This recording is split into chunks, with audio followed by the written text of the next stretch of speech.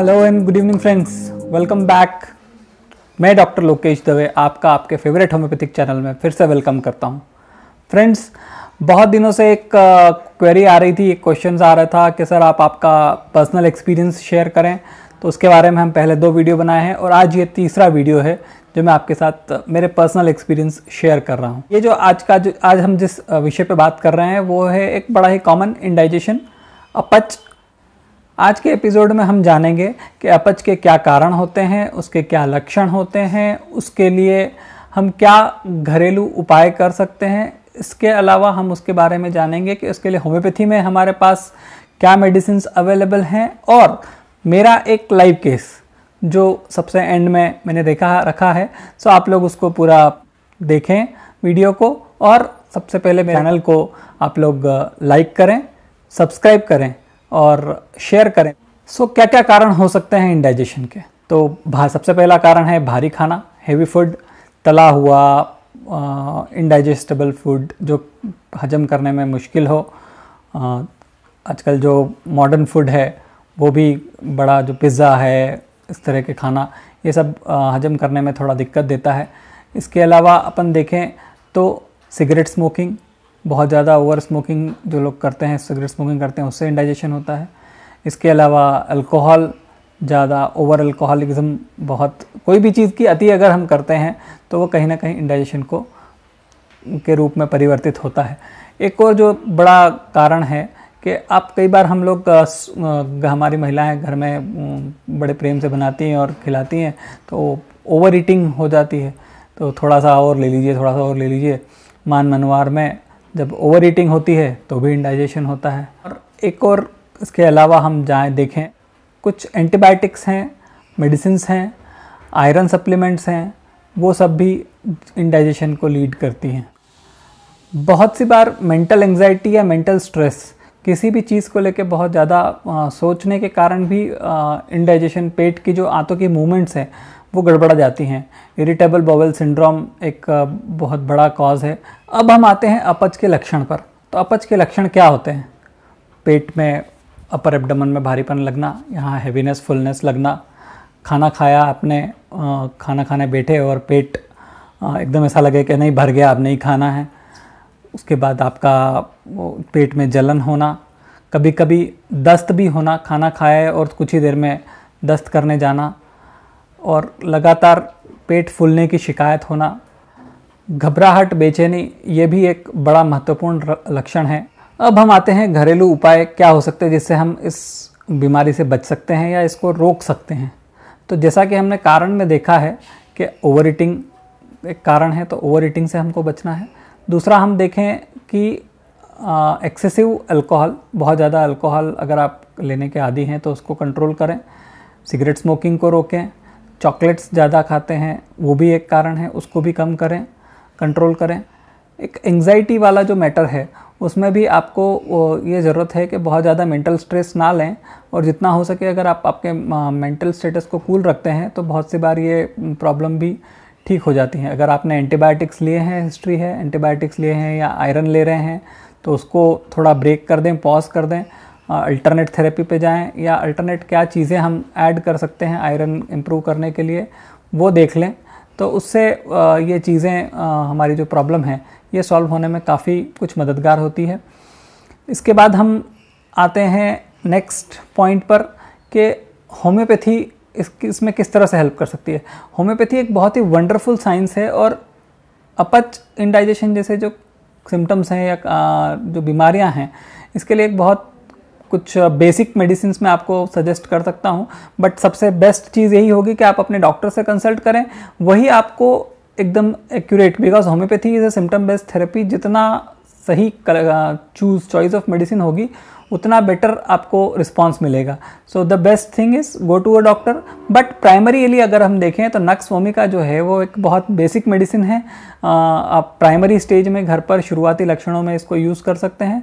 नक्स के अलावा China, chelidonium, carbo veg और पल्सेटिला, ये कुछ चार पाँच बेसिक मेडिसिन हैं। इनको भी आप ट्रायल दे सकते हैं। आप गैस के रिलेटेड मैंने एक वीडियो और बनाया है।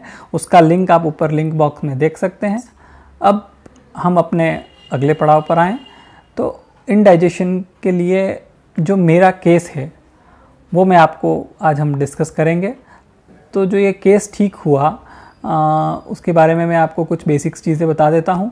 ये लगभग छः महीने से परेशान था पेशेंट और दो तीन जगह इधर उधर कुछ एलोपैथिक ट्रीटमेंट वगैरह करवा के आया। फिर एक मेरे फ्रेंड ने उसे सजेस्ट किया कि आप डॉक्टर दवे को दिखाइए। सो वो जो हैं वो आ, कुछ आपकी हेल्प कर पाएँगे। वो तो कहीं आगे जाँच वाँच के लिए जाने के मूड में था जैसा कि वो आप देखेंगे। तो वो जब मेरे पास आया और मैंने उसका केस टेकिंग ली तो हमको जो बेसिक लक्षण वही कि सर मैं कुछ भी खा रहा हूँ तो मुझे बार बार दिन में तीन चार बार फ्रेश होने जाना पड़ता है, उसके बाद फिर पेट भारी पर लगता है, लगातार जलन हो रही है पेट में और बड़ा डिस्ट्रेस्ड है एलर्जी कंडीशंस भी साथ में थी स्लीपलेसनेस नींद नहीं आना, ये सारे लक्षण लेके वो मेरे पास आया था। तो मैंने जब प्राइमरीली उसको जो दिखा उसमें, जो लक्षण खास करके इंडाइजेशन के साथ में थर्स्टलेसनेस एक बड़ा इंपॉर्टेंट उसने हाईलाइट किया कि मुझे प्यास बिल्कुल नहीं लगती है साहब और नींद बिल्कुल नहीं आती है। पल्सेटिला के साथ में आ, मेरी बड़ी कॉमन सी चॉइस है अगर इंडाइजेशन और एसिडिटी का केस है तो biochemic 25 number one of compulsory prescription है मेरे इंडाइजेशन के एसिडिटी के केसेस में। सो so, uh, वो दिया गया साथ में। और चूँकि एक स्लीपलेसनेस की कंप्लेंट पेशेंट बोल रहा था कि बहुत स्लीपलेसनेस है तो एक kali phos was added once in a night time and एक हैसलेब की डाइजेस्टो साइरप आती है जो कि बहुत ही अच्छा रिजल्ट्स देती है इंडाइजेशन के केसेस में। So this was specifically added होता ही है one of my choices again but the key remedy was pulsatilla है ना? सो so, uh, अभी मैं आपको मेरे पेशेंट का वीडियो दिखाता हूँ। इसके बाद हम पल्सटिला के बारे में कुछ डिस्कस करेंगे। हेलो भाई बताएँ क्या प्रॉब्लम थी? कब से थी? छह सात महीना हो गया था हाँ क्या हो रहा था? छह सात महीना पेट में जलन हो रहा था हाँ। और दिन भर में चार बार में लेटरिन जाता था। हाँ। कई जगह रात में भी जाता था। बराबर। तो सर के यहाँ आया तो तीन महीना में दवाई खाया। हाँ।